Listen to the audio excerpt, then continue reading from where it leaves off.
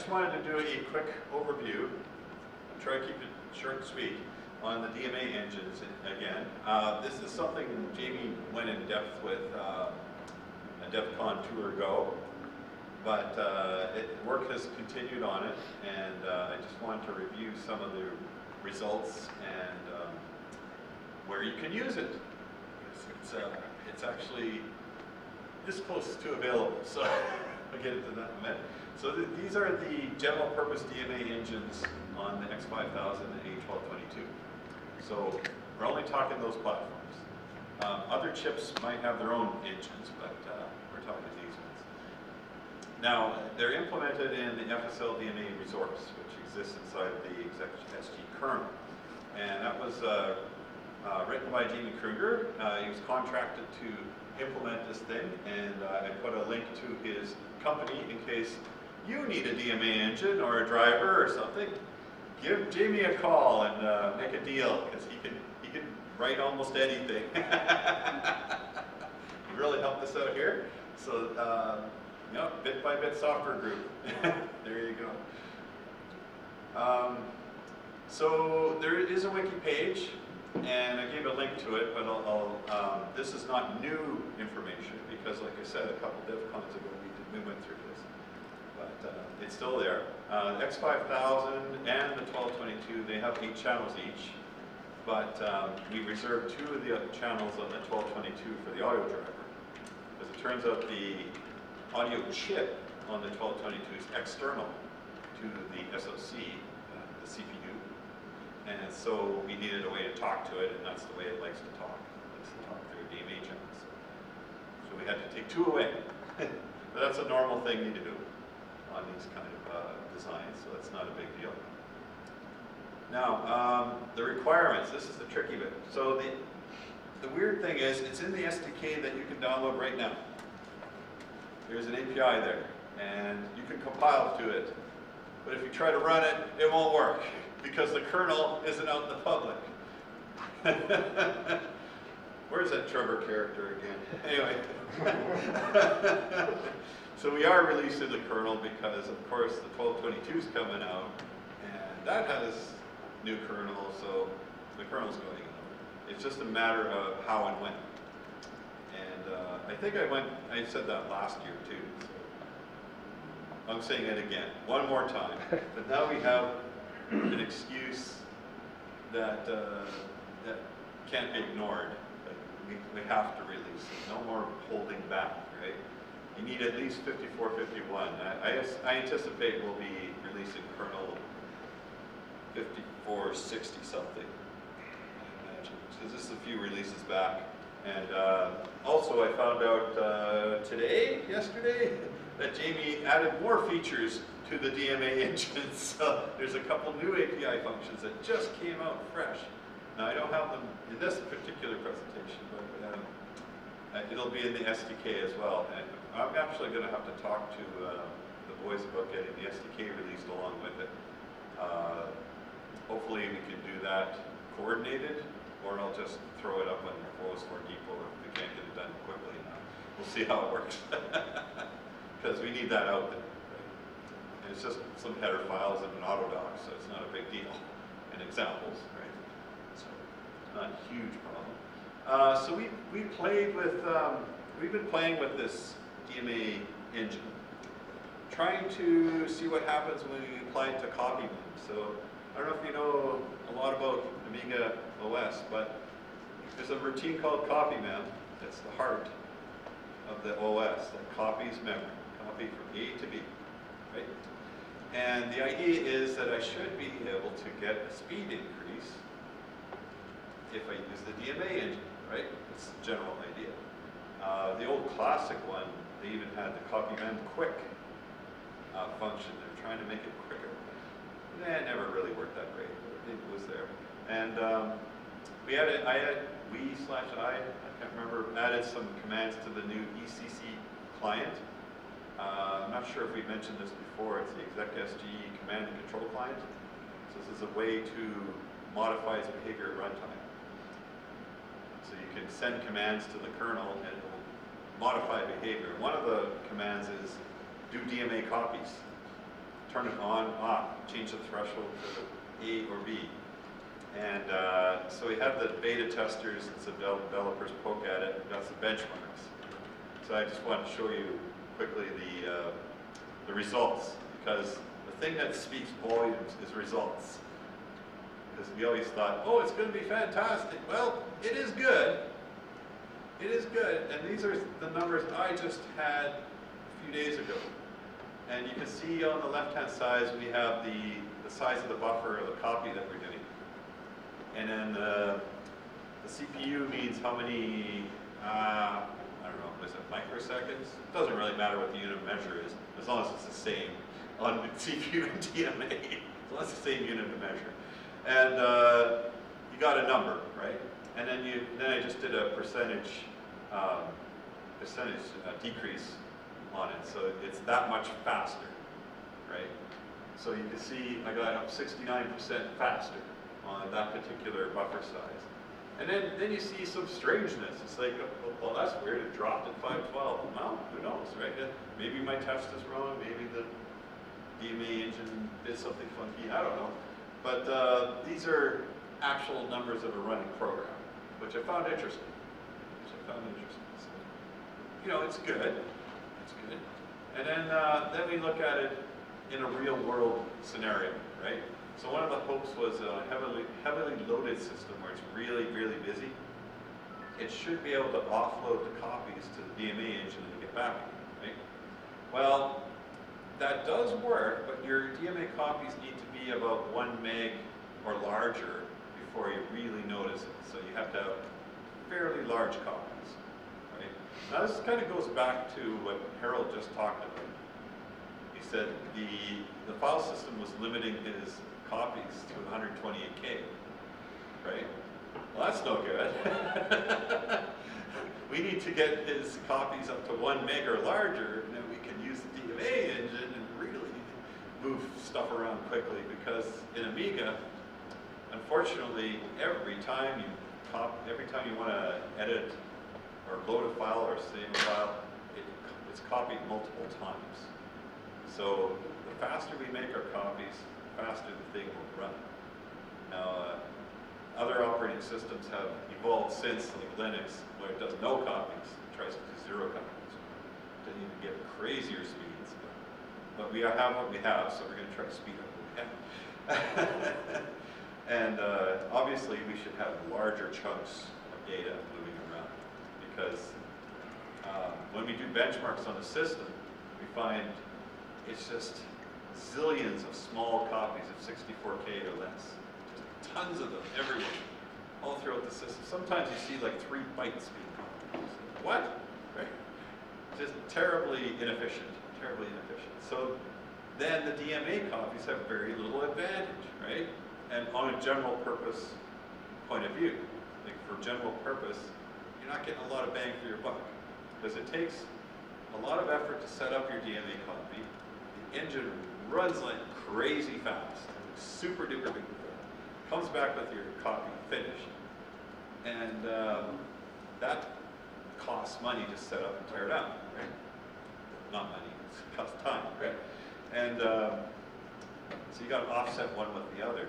Now, uh, one of the nicer features that uh, that Jamie added at, uh, at the end there was um, chaining, where you can chain multiple different transactions into one big uh, big transaction. And you take a bunch of little ones, chain them all up into one big transaction of DMA hardware.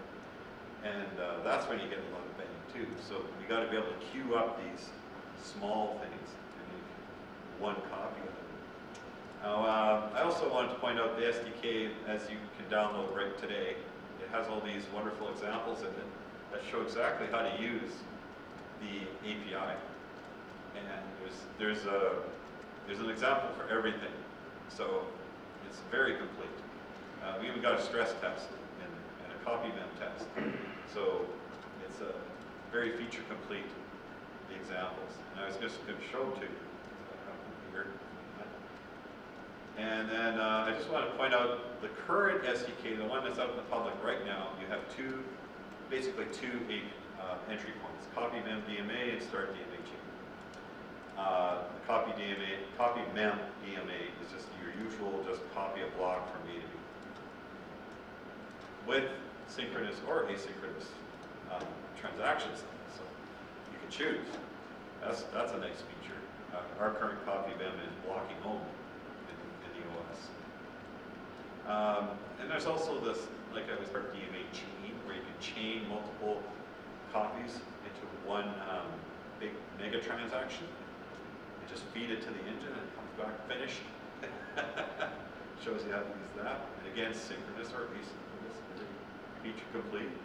When it, when you do it asynchronously, it sends a message to your a task. Well, when I say asynchronous, is you call the function, Yeah, it returns immediately to your program. yeah.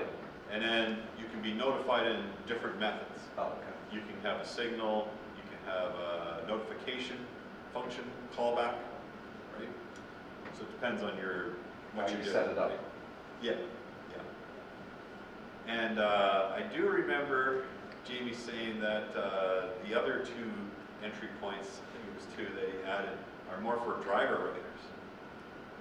So the Harolds of the world, right? Perhaps.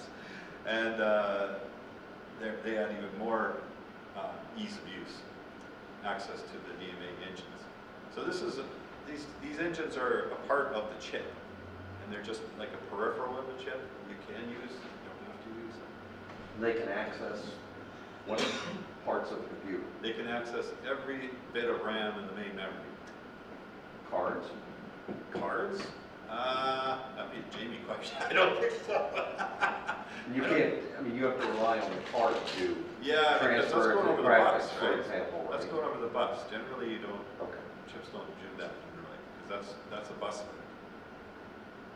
Right, Can I ask you a question on this? Question? Yeah? All right, so one of the kind of critical things that I'm never entirely clear about is I've got some amount of storage that I want to move. Now, should I try to be smart and say that I know what the optimum sort of buffer size is and then break up each movement into an individual call? Should I use chain, how do I know? See, I, I don't, I don't know the performance of my memory subsystem. I don't know the internal workings of the DMA. I don't know any of that stuff. I just know I've got some blob that I want to move. What, how do I know how to structure it? Do I just allocate a giant, enormous buffer and say, go copy this to that destination? And it knows what to, I mean, how do I, how do I set all this stuff up? How do I know whether to handle it manually or So make use of the, the chain feature? I'll just reiterate the question, a little bit, summarize it. So basically, uh, the question was, how do you know how to set up your transactions? right? Yeah. Like, do I chop it up into bits? Do I make a buffer of this alignment? Right. Do I use this size? And how do I know what this optimal size is? What is the optimal size? Exactly. Et cetera, et cetera. Yeah. And uh, the only for sure answer I have is you have to test it. Basically, You have to test it to know for sure. Okay. Yeah, I mean, you can, you do know for a fact, our current kernel, its favorite size is 4K. It loves 4K. And if you make anything 4K in a division of 4K, it likes it. What's the default page size? That's the default page That size. would yes. explain why. It loves 4K, Sure. right? But then there's layers on top of it, right? Layer after layer. And if you're doing disk driver, like Harold found out, the file system is your limiting factor sometimes, right? It has a certain buffer of a certain size, and it should also have alignment of a certain restriction built on top of the 4K pages, right? well, what size is the best? And then um, to add even more complexity, you have like that, what is it, Sony drive? Throwing RAM in there too, to buffer everything. Oh, Right. caching and so forth. It doesn't care what alignment size it is now, it's chopping it up and? So really, you- you can't know until you test, which is very frustrating for the generic programming types. right? What how much different differences between the various architectures that is supported? Yeah, I mean, various you're only supporting two now, but the next one thousand would be something else to support. And that's for this particular DMA engine too. Like this DMA engine is one of the most flexible that I've seen in a long, long time. It can, it can handle um, I don't think that answer. unaligned copies, and it can handle any size copy. Very unusual, usually they're very restrictive. I must have it on this page, I must have it on this. Can't you, um, Yeah. give, uh, let Jamie tell it?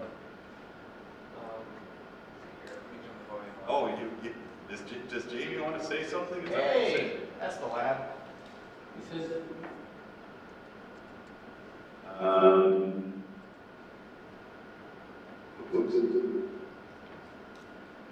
Echo. Turn yours down, Sharon. Oh, you looked at- okay, there he is, there's Jamie Chipton.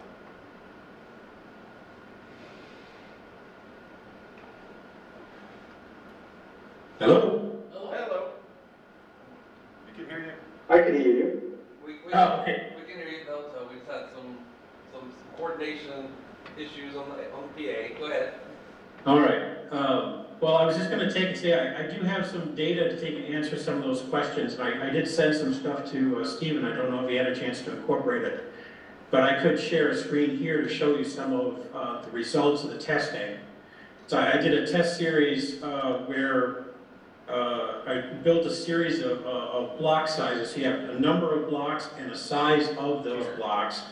And then copying it with the copy mem, copying it with the copy mem DMA, single call uh, approach, and then using the uh, DMA chaining. And it really shows, you know, the, uh, the kind of the optimal sizes and number of blocks and size of blocks really comes into the whole thing, so. Uh, I can, like I said, I can show that if, if Steven didn't get my uh, uh, PDF, I, I sent him earlier, incorporated into this. And as, as well as the source code example of, of what it does, but. Anyway, continue, thank you. No, you share, share your screen then, show, show, show us the graph. Can, can you share your screen and show us the graph? Oh, sure, let me see if I can bring it up here. Here on the screen, He's the same problem you Yeah, have. Here you go. it's always the same problem. well, that's okay, that's sharing the entire screen. Almost there. I there. just wanted to share the window really. See if I get it to do that. He was just sharing, but. There's a lot of buttons. Use it. Okay, well, I'll- I'll just bring up the, the screen, share the, share the screen here. This, and then go. Get this guy to go full. I have too many screens. You thought it was just me.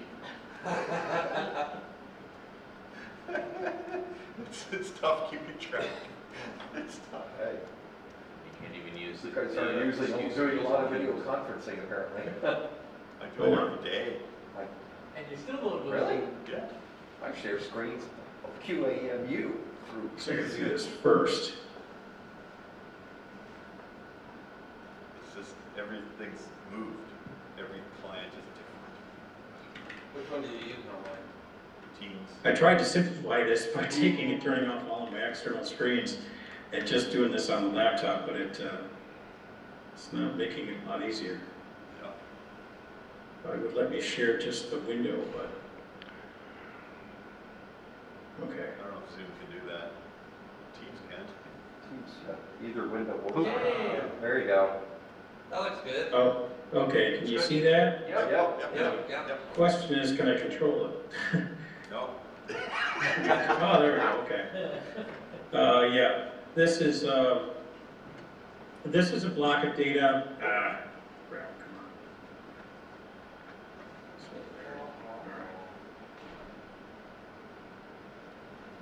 So, what we've got here is we've got some numbers. Now, this is an example of the, uh, using, uh, setting up a, a, a series of 512 blocks uh, of various sizes. So the first column here is, you know, number of blocks, well, it's all 512 for this test.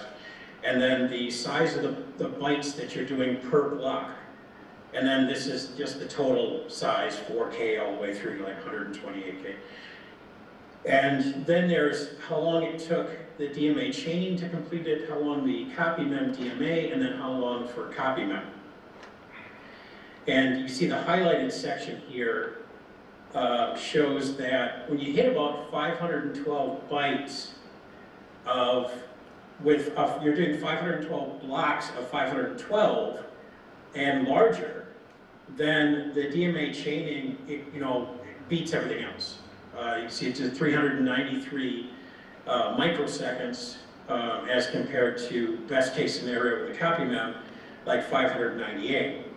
Now, what, like what Steven was saying, uh, when the CPU is busy uh, taking and doing other things, that copy mem figure gets a lot worse. Uh, but when you're doing the normal copy mem DMA, it's got so much overhead to, to manage taking in and getting that single copy, especially when you um, are just giving it the virtual addresses. You're, you know, so it's got to figure out where it is in memory. It's got to figure out the scatter gather list of all the pieces of it, and then do then plug that into the hardware and then go.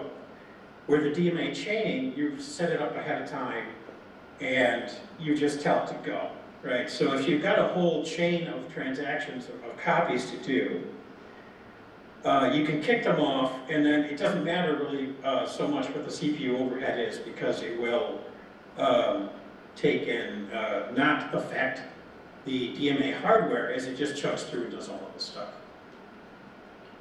So there's a graphical, there's the kind of chart view, kind of shows it. In this case, of course, we're looking at um, uh, the, the- smaller the, uh, the bar, the better, the faster it is. And, uh, you know, this, and these results, uh, let me see if I can show it on the other one too. I did a whole series of them. Uh, let me stop sharing. Oh, Wait a minute, I've got the screen now, I suppose, so.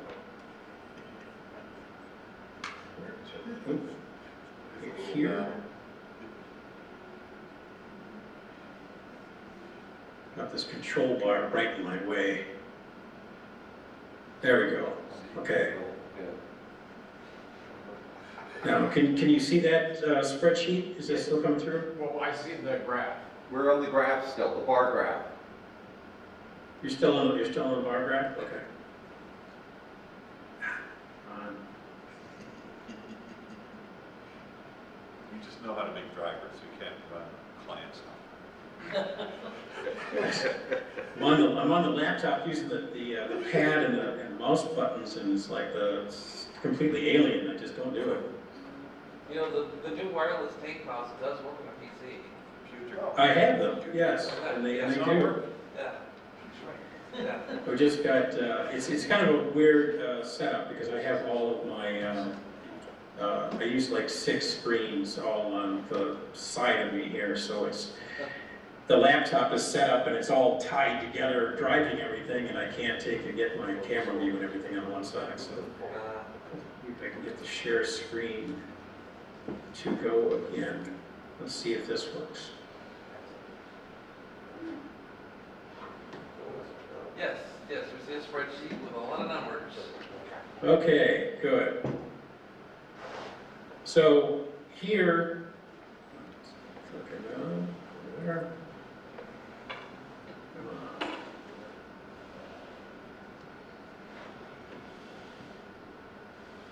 This thing is like, my, my keyboard's not even responding, what the heck? So I'm having some trouble. All right, but- Or is this share thing? So there's, um, I gotta get this over so you can see the number of blocks. There we are, okay. Hours a day. And so here you can see, maybe I hopefully I don't scroll this too fast. That first block, uh, uh, that's, you know, eight blocks of, again, eight through two hundred and fifty-six K of, of bytes. And it's the same kind of thing. Once it hits about eight K, well, then it's faster. And you go down, and like, okay, we increase that to sixteen, uh, blocks of transfer. And you're still looking at about sixty-four, it's probably about sixty-four K uh, it becomes quicker. And then that's, this one is kind of a- an anomaly. I don't know what causes it to, uh, to gap like that, but when it did thirty-two blocks of different sizes, and it got like, well, four K, did a four K block in ninety-seven microseconds, but then it did an eight K block, you know, in uh, fifteen eleven. So, and then it went right back down to using, to, to doing three oh seven, so I don't know if that's just a- an oddity or, or what, but the, uh. The point is, is that uh, it, it does take a lot of testing to kind of figure out where the sweet spot is for what you want to take and set up. But it's pretty consistent with the, uh, uh, the DMA chaining um, becomes the fastest scenario whenever you're doing, you know, like 512 bytes or more. Whereas the, uh, the copy mem DMA versus straight copy mem is like what Steven was saying. I mean, you may, you may have to be pushing around a meg or faster to guarantee it's gonna be quicker. And, uh, but to, to kind of address the question of, well, how do you know how to set it up? Uh, in the example of, um, the, uh, that demonstrates how to do this chaining, uh, function is, uh, a couple of, a couple of routines that I wrote, um, to show you exactly, um, where to do it, and and that is, uh, it's not that one, that's the uh, debugger. Uh,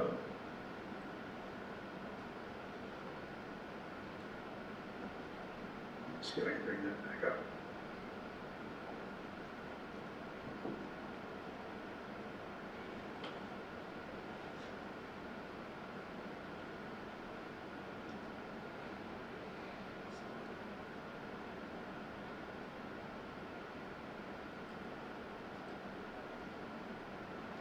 And actually, I have to go back out that far. Grab what I was looking for. I just need this. There we go.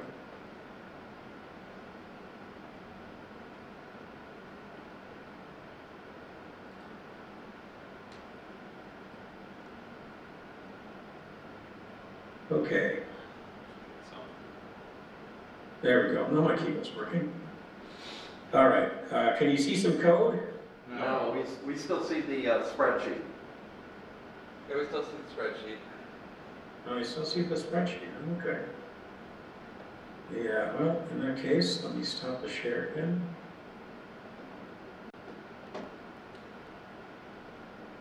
And I will try this one.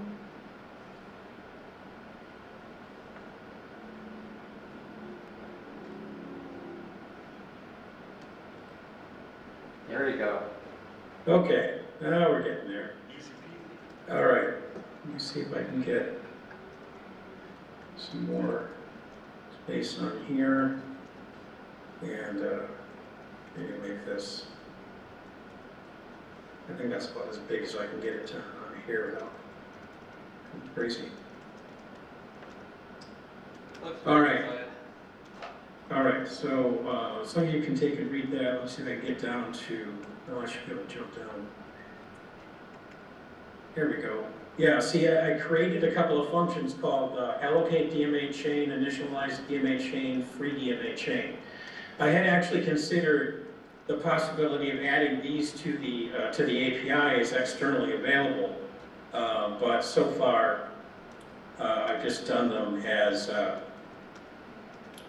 as functions within the, within the test program that's distributed, so. Let's see if I can get that, this down a little bit. Okay, so this whole test thing, yeah, it just takes and, um, you know, allocates two big areas of memory and then divides it up into, um, these, uh, uh, DMA chaining arrays. And the, the header file, uh, describes uh, the maximum sizes and the optimum sizes. So like, uh, if you're doing a single uh, transfer, an optimal size, uh, block size is about 64K. Uh, But it can do, uh, it can do a lot more, so, see here. Yeah, so what this function is taking and doing is it's, it's, it's literally just following the rules of the DMA hardware itself and on how it, you set up this um, uh, contiguous array. Because that, that's what a, a DMA chain is. So you start with an, an array of repeated structures And each one points to the uh, source and destination of what you're gonna copy, and then, you know, provides uh, any uh, parameters about how it's supposed to do it, and, uh, and the- the size of it, of course. And then ultimately, it'll end it with this, uh, this guy right here, FSL DMA, uh, end of, end of uh, line flag. End of link is actually what it is. So that's how you, you piece the whole thing together. So that's, that's the best approach right now, is you literally just follow the example, use these functions, which will allow you to take in, you know, allocate and set up uh, the, the, the uh, number of entries you want, and uh, with, you know, with, and you populate your pointers to where that's, where that's gonna go. And, uh, and then you just hand it to the hardware. Now, there's another level to this as well, um, that not only can you take and, uh, set up a DMA chain and, um, you know, have it just execute the whole thing, but you can also set up lists of chains. And you can also take and um, tack on to the end of the, uh, list, even if it's, even if it's executing right at the moment. So it'll just rip through it, and when it gets to the end, it'll go, oh, there's the pointer to the next one, you know? So in a multitasking uh, setup, uh, you kick off a chain, and then you, your program would uh, get control to um, take and uh, set up the next one. And then you'd attach that to, uh, in just replacing the end, the end flag thing, and just, you know, kick it off, and it, uh, it'll go, so. That's a, that's another step of improvement that can be made, uh, um, available, is not only giving you the ability to just start a chain, but to start a list of chains that you can dynamically add to, but the exact API for taking and doing that, I haven't um, figured out how much of it should be uh, public and how much of it should be, or, you know, is it too much? I don't know. Those are kind of questions for Steven, I think, but.